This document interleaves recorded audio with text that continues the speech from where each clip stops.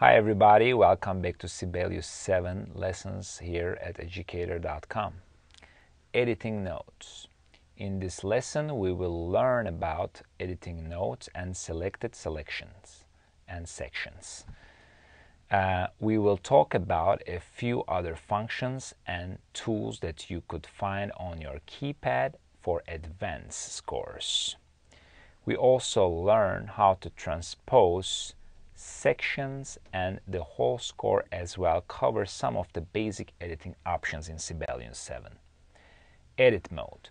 When we select something on our score page without an input line, that's an edit mode. Technically, if you just go select a section or select a note, that would be uh, edit mode.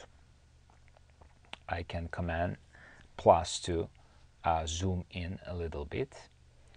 And there are a couple of uh, editing options that you already know that you could change the notes uh, diatonically up or down with your arrow, up and down arrow, or command up and down will go with the cluster that would be like a, the octaves.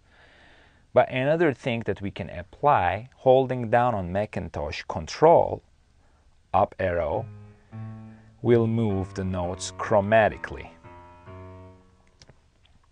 Also, if you hold down Shift and try page up and down, you would go chromatically too. So either Control as a modifier key, up and down arrow, or holding down Shift with the page up or page down, you could uh, go in between the chromatic notes.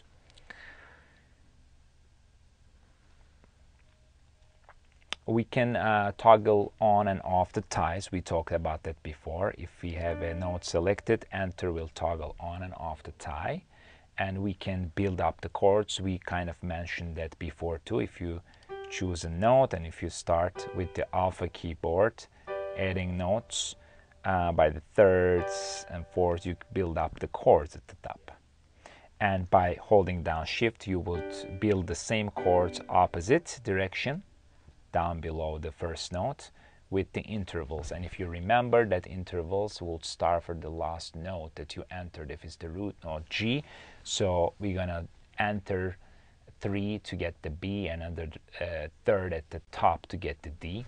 Those kind of things. We covered all these